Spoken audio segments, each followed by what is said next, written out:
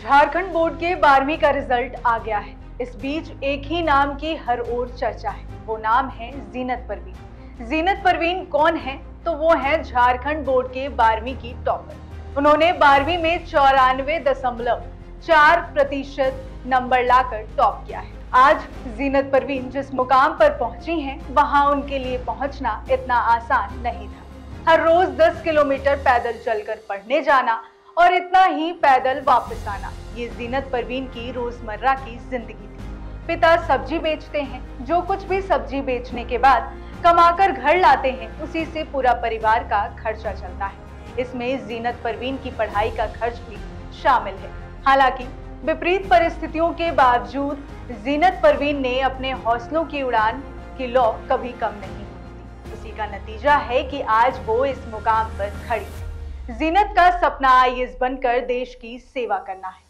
Eleven class में मैं cycle में ही चली जाती थी। कभी कभी साइकिल ख़राब हो तो पैदल चली जाती थी यहाँ से हुसीर तक। उसके बाद वहाँ से ऑटो मिलता।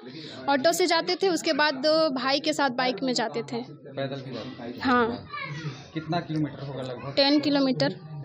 आगे क्या करना है? क्या आगे यूपीएससी का तैयारी करना है। जीनत के पिता साबिर अंसारी को जब बेटी के टॉप करने की खबर मिली तो वह भावुक हो गए। उन्होंने कहा, मैं हर रोज आसपास के बाज़ार में सब्ज़ी बेचकर परिवार का खर्चा चलाता हूँ। आज बिटिया का जो रिज़ल्ट आया है, उसने मेरे संघर्ष को सुकून दिया है। बिटिया आगे जहाँ भी और जैसे भी पढ़ना चाहेगी, उसे हम पढ़ाएँगे। बता दें, मंगलवार 30 अप्रैल को रिज़ल्ट जारी होने के करीब दो घंटे बाद जब जीनत को स्कूल के टीचर ने स्टेट टॉपर होने की सूचना दी, तब उसे यकीन नहीं हुआ।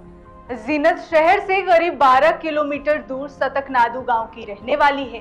इस साल झारखंड बोर्ड बारहवीं का रिज़ल्ट पचासी दशमलव अड़तालीस फ़ीसदी रहा। तीनों स्ट्रीम में रांची की छात्राओं ने टॉप किया है। इस बार साइंस में बहत्तर दशमलव सत्तर प्रतिशत, कॉमर्स में नब्बे दशमलव साठ प्रतिशत और आर्ट्स में तिरानवे दशमलव सोलह प्रतिशत विद्यार्थी सफल रहे हैं। झारखंड बोर्ड ने पहली बार इंटरमीडिएट के तीनों स्ट्रीम का रिज़ल्ट एक साथ प्रकाशित किया है। सर अभी तो मैं government plus two high school Kanke में पढ़ती हूँ और ट्वेल्थ में मैं आर्ट्स स्ट्रीम लेके पढ़ी और उसमें टॉप की हूँ स्टेट में पूरे 94.40 परसेंट ला के कैसे पता चला है कि आप मुझे पता नहीं चला था। जब मैं अपना रिज़ल्ट देखी 94.40 परसेंट था तो मुझे लगा कि हाँ फ़र्स्ट डिवीज़न है। उसके बाद मुझे आ, मेरी मैम है इकोनॉमिक्स की टीचर सुनैना मैम वो कॉल की बोली कि तुम रांची टॉपर बनी हो। मुझे बहुत खुशी हुआ। ऐसे ही तमाम खबरों के लिए देखते रहें लोकमत।